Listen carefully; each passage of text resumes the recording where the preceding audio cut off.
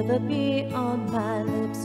Praise will ever be on my lips, ever be on my lips. Your praise will ever be on my lips, ever be on my lips. Your praise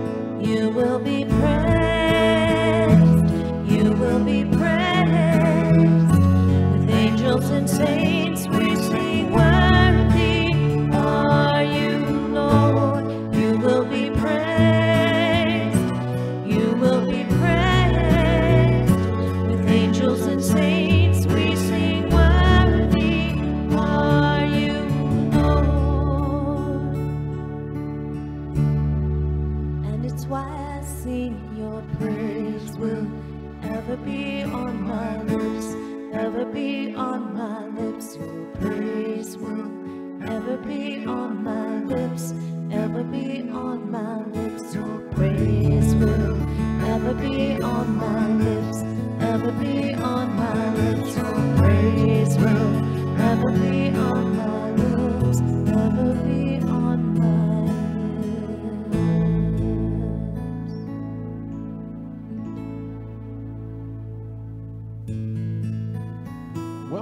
to God's Food for Thought. This week we're going to continue talking about praise and worship, a deeper understanding of praise and worship. You know, the greatest discovery a human being can find is the real evidence for the existence of God. In truth, only God can reveal himself to us. The second discovery that's really great is that God loves each of us and that through Jesus Christ, he desires a true personal relationship with each and every one of us.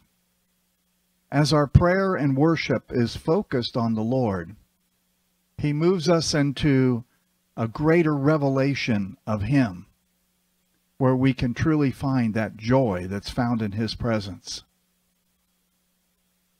The prayer of inviting Jesus to be your Lord and Savior is a life changing transformation into his kingdom, where you're taken out of the fallen kingdom and your desires and all your will, and you're actually transferred into the kingdom of God. Prayer, when we pray, it invites King God's kingdom to earth. Your kingdom come, your will be done. It waits on him to answer our prayer. Praise and worship focused on Jesus opens our eyes to behold him as he inhabits our heartfelt praise. The opposite of worshiping the Lord is sinning against him. In worship, we draw near to him and submit to him, where in sin, we want to run away and hide from him. The more we pray, the more we worship, the closer we are drawn to his presence. Seek and you will find is a promise from Jesus himself. God reveals himself to each of us so that we can discover and experience his very presence, the reality of his presence and the reality of his love for each and every one of us. Praise and worship are wonderful acknowledgments of God's existence. And when you praise him, you're actually joining in an agreement with him. You're joining our will with his will. We're asking, seeking, knocking, and trusting in him. Praise and worship should be together as two sides of the same face focused on God. Although a two-faced person often separates them. Let's compare praise and worship. Praise is our response to God's actions. It contains thanksgiving and appreciation. We praise God for his mighty acts, and we praise his name that identifies him as the one doing those mighty acts. Worship, on the other hand, is a direct response to God Himself, to the person of God. By definition, it means to bow down, showing honor and respect in the Spirit. It's a submission to God and His ways. So, looking at that praise, wow, the great things that God has done. Worship is more of a response to Him and bowing your heart to Him. A two faced person will give an emotional, soulish, fleshly kind of praise for just the good things. Wow, I'm so glad of these blessings.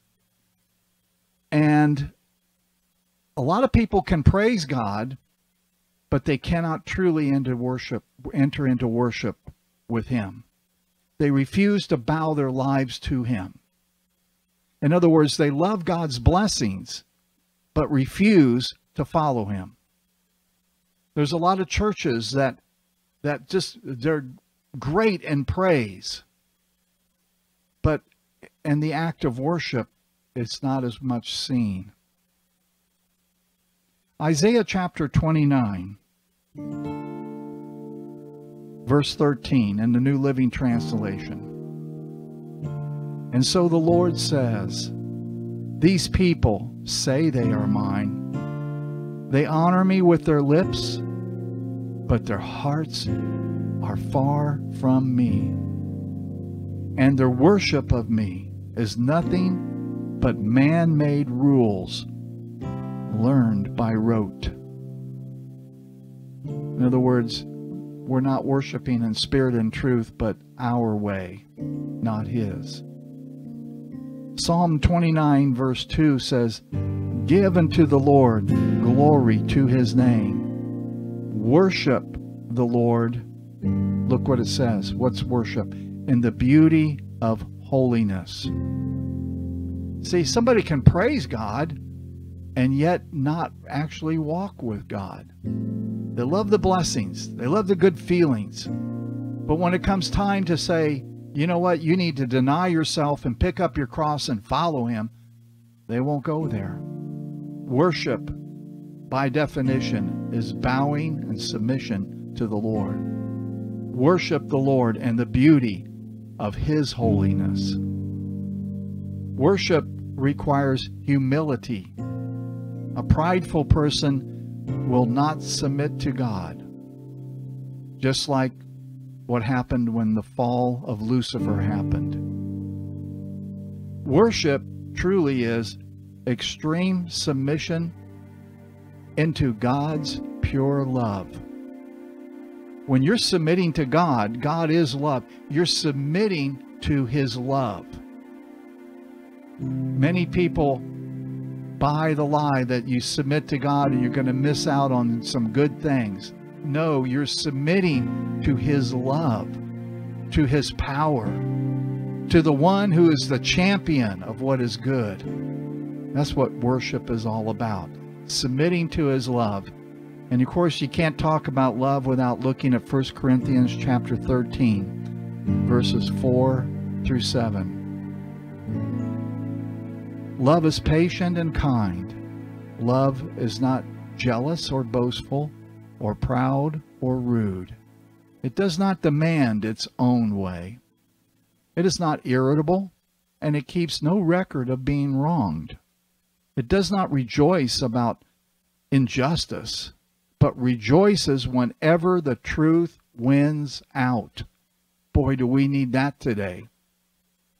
Love never gives up, never loses faith, is always hopeful, and endures through every circumstance. When you are worshiping the Lord, you're submitting yourself to His love that will work in you. Your, His love will work out of you. That's why you're able to take His love and love other people with the love of the Lord. God's praise endures forever. Be part of the angels and the called out ones who have found the joy of praising God in his presence. The angels and all those in heaven have submitted to God and are true worshipers. And Jesus says the Father is seeking after true worshipers. Today we want to remind you to submit your life to God. Repent of anything that's getting in the way. In fact, take the joy of it and just offer it up to Him. And let the fire of God consume that thing. May His praise be forever on your lips, and may your heart be forever submitted to Him. This has been God's food for thought. Have a blessed day, praying, praising, and worshiping Him.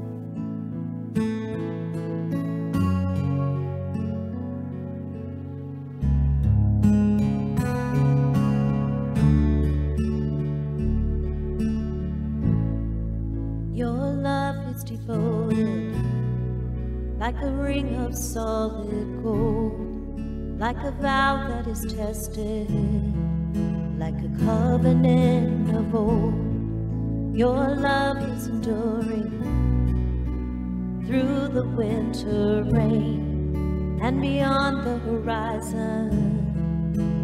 Mercy for today, faithful you have been, faithful you will be pledge yourself to me.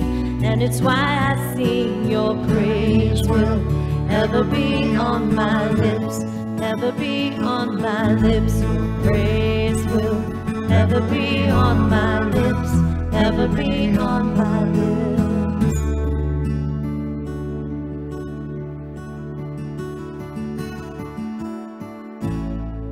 You father the orphan kindness makes us whole. You shoulder our weakness, and your strength becomes our own. You're making me like you, clothing me in white, bringing beauty from ashes. You will have your bride, free of all her guilt, rid of all her shame known by her true name. And it's why I sing your praise will ever be on my lips, ever be on my lips. Your praise will ever be on my lips, ever be on my lips. Your praise will ever be on my lips, ever be on my lips. Your praise will ever be on my lips. You will be praised. You will be praised. With angels and saints we sing worthy are you, Lord. You will be praised. You will be praised. With angels and saints